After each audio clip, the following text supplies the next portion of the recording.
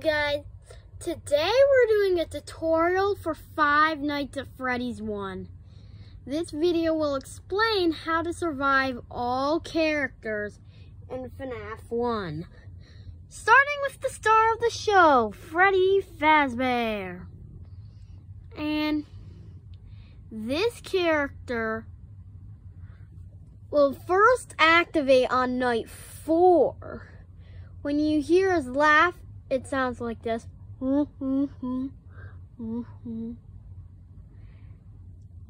That means he moved. Starting on night four, check only these two cameras. camera, the camera with Pirates Cove, and the in the right hall corner.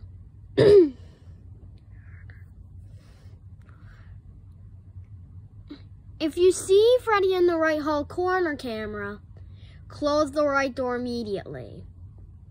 If you fail to do so, in a couple seconds he'll get in and murder you. Yeah. Next character, Bonnie the Bunny. He's the easiest one to survive. I'll be active on night one, start on the show stage, and we'll do a random order to get to the left door. When he's at the left door, close it, you'll see him in the light. That's it for him. He's pretty easy. Chica. Chica is a little bit harder than Bonnie. She also spawn, start, starts attacking on night one. And so she will start on the show, show stage with Bonnie. Then go to the right door instead of the left one. That's all that's different, except for on night six. When you close the door, if it opens and the left door works, and you can't turn on the light or close the door for the left and the right one, don't flip up the monitor until you can turn that back on. That's what happened to me on night six, and it worked. So, yeah.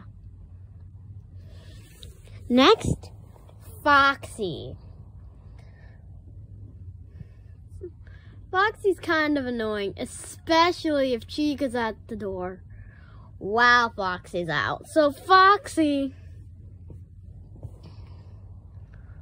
will be in Pirates Cove. And if you don't see the curtain closed and Foxy's not there, that means he left. You must close the left door immediately. Failing to do so will result in a death. And this last character is Golden Freddy. He is a secret character. I've only encountered him once.